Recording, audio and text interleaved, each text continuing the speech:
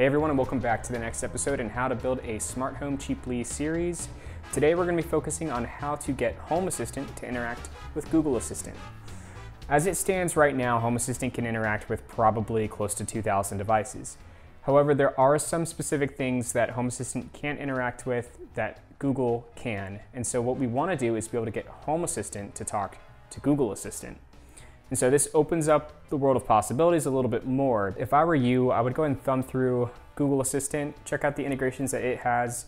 If there's been a case in the past where Home Assistant didn't natively support something that you wanted, then I would seriously consider pursuing this video and getting everything set up. Now, if you're unfamiliar with Google Assistant or you haven't used it before, it is arguably, in my opinion, better than Siri and better than Alexa, and that's just from personal experience, but that is a little bit controversial, so I'll let y'all debate that in the comments below. Anyways, let's just dive right into this.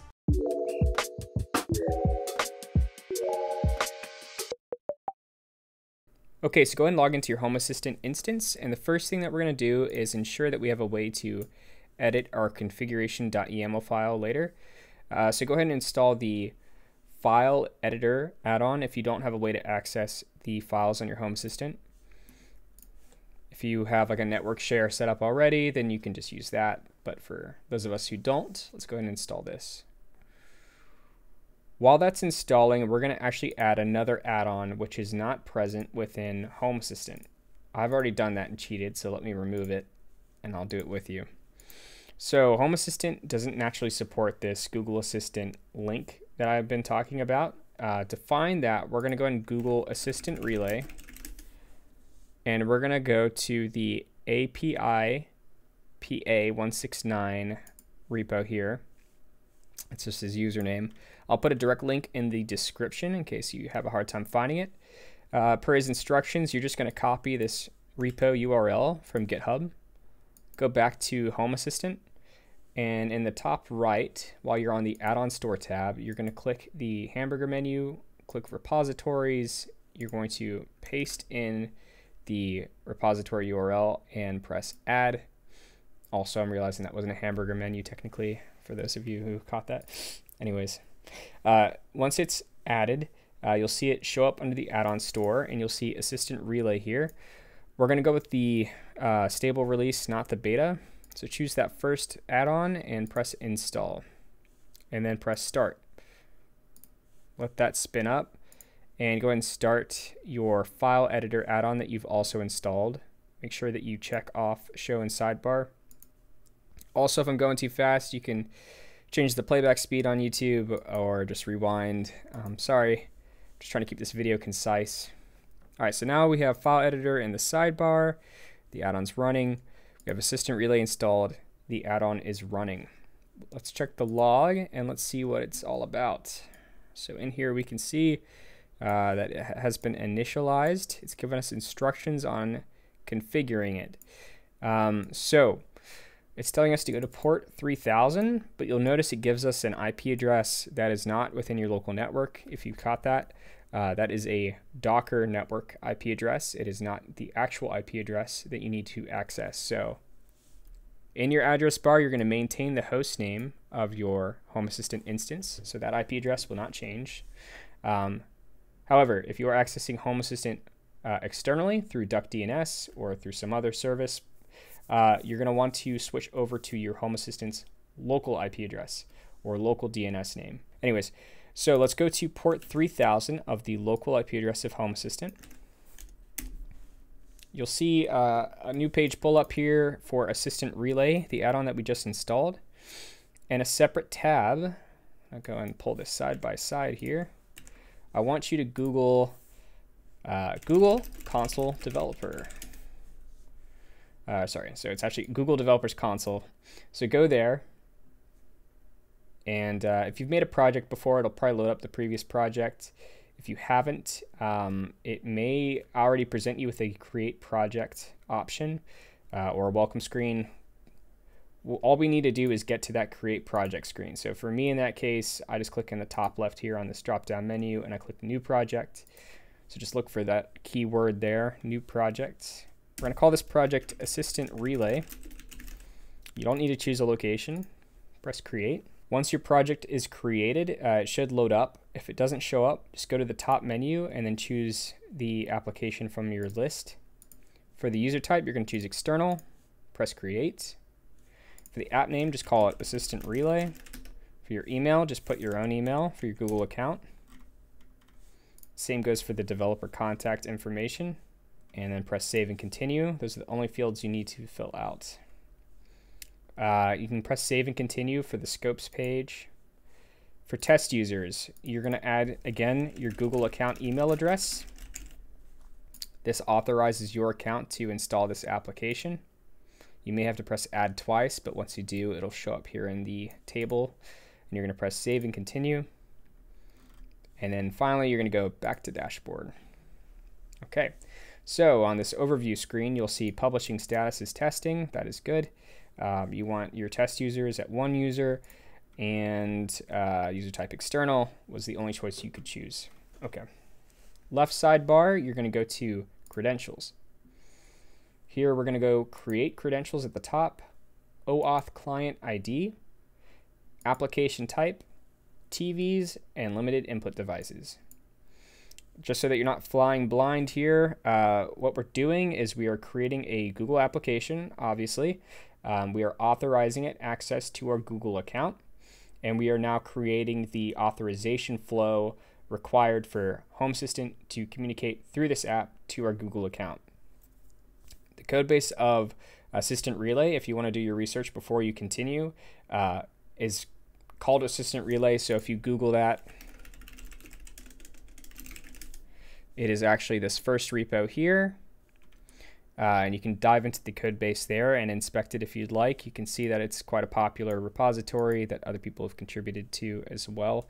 And um, what we're what we installed at Home Assistant was an adapted version of that, uh, so that it's compatible with Home Assistant's add-on system. All right, so barreling on ahead, let's call this OAuth client Home Assistant. We're going to press create. You'll be presented with two codes, the client ID and secret. You can press OK.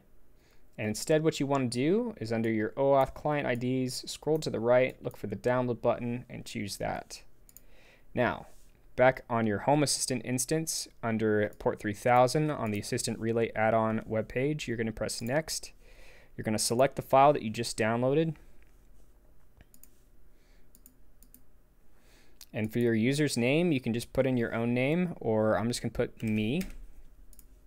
Actually, I'm going to put Grayson. Then you're going to press Next. You'll be redirected to Google to authorize the Assistant Relay application we just made. Choose your own account.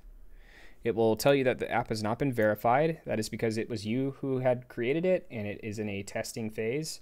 But as you will recall, we added ourselves as a testing account, so we are authorized to allow this app to our account. Nobody else will be able to authorize this app, even with that file, under a different Google account because of the test users restriction.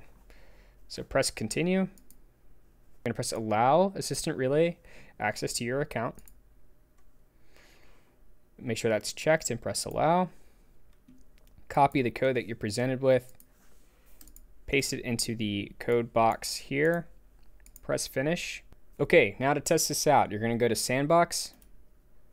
You're going to type in your account name that you just added. So I put in Grayson, and you can say the message you want to say.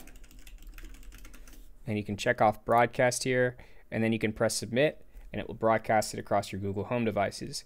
Uh, if you if you don't have any Google Home devices, you can check off Converse here, and it will still interact with Google Assistant, and in the web page here, you will get a prompt uh, with an audio playback of Google's response. Now, you'll notice that when we do press submit, we're getting this little red X here at the top of the screen. So let's dig in and see why. So go to your Home Assistant in a separate tab. Go to the Supervisor tab. Go to the uh, add-ons, that's under your dashboard already. Go to uh, Assistant Relay and then log at the top, we'll already start to see that there are some errors here. Look for a line that says Google Assistant API has not been used in project. You can do Control F and just search for Google Assistant API has not been used, right? And you'll see it tells us that we need to enable the Google Assistant API. Conveniently, it also supplies us a link on how to do that. So copy the URL that you see in that message, the full thing. Copy that, paste it in another tab, and check the Enable Google Assistant API button. Go ahead and refresh your Assistant Relay page. Type in your name again and what you want to say. Check off Broadcast and press Submit.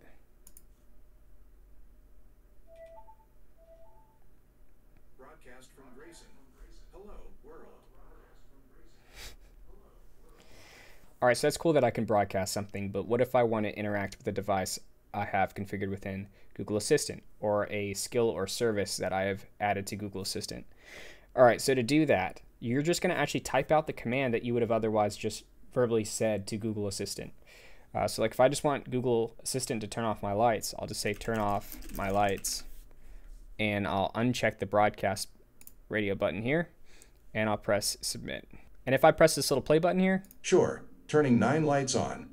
Sure, turning nine lights on.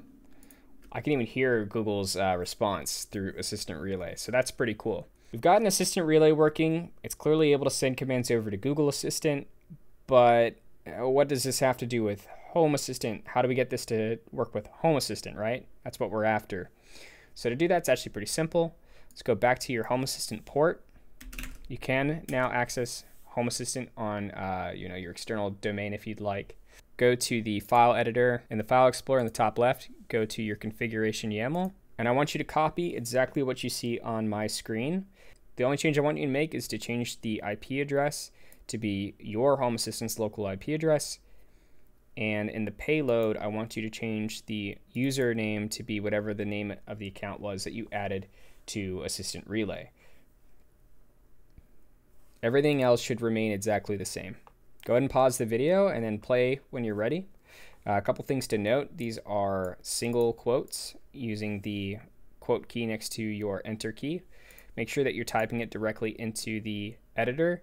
In other words, make sure you're not doing this in a Word document and then pasting it into here or something like that because Word will actually change these little quote marks to be curved in the uh, to encapsulate the word. So it'll actually change the type of quote to uh, not be a completely vertical quote, and Home Assistant won't know how to read that.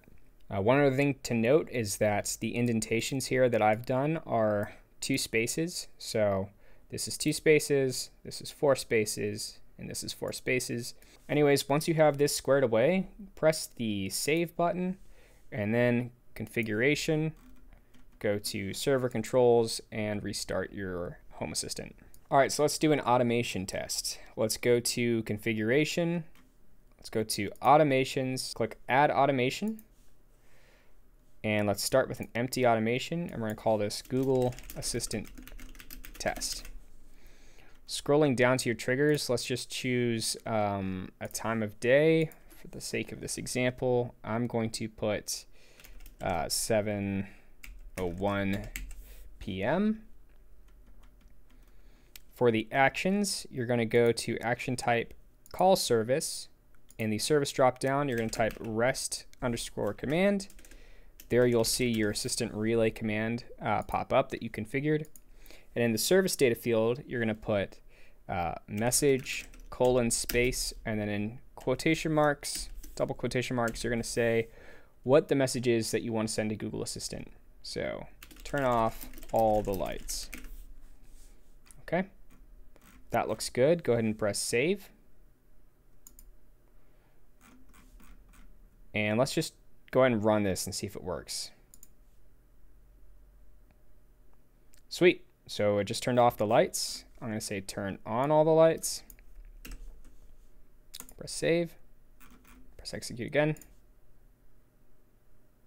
Boom. All the lights came on. So now we can see Home Assistant is able to send any command we need to over to Google Assistant. Now, as awesome as this is, realize that Home Assistant can now talk to your Google account directly. So almost any command you can send to your Google Assistant, Home Assistant can also send. So if Home Assistant were ever compromised, somebody could use this REST command that we've added to Home Assistant to essentially inject any sort of command to your Google Assistant. It is up to your discretion whether or not you want to use this. I feel like it's worth it. Just make sure that your Home Assistant security is tight. Uh, I would enable multi factor authentication. Um, if you aren't sure how to do that, it's just a quick Google. If you ever decide that you don't want to keep this integration set up, just uninstall the add on, uh, remove that line from your configuration file, and then go back to the Google Developers Console to your application here. You'll click the menu in the top right, you'll go to Project Settings, and then you can shut down the project uh, through this. So now we can have Home Assistant send any sort of command to Google Assistant. I'm excited to see what sort of automations y'all come up with. Definitely share them below. Share any ideas. Uh, if you need any help with anything, just let me know. And uh, on another note, thank you guys for the feedback so far. I know it's been a little bit since the last video. I can't guarantee a certain cadence. I've got a uh, primary job, you know, that I'm focused on, but I will try to contribute to you guys uh, and to the community whenever possible. And I do enjoy making these videos. So please rate and comment below. And if you're new to the channel, be sure to subscribe because there will be more content coming soon and hopefully just as interesting as this one.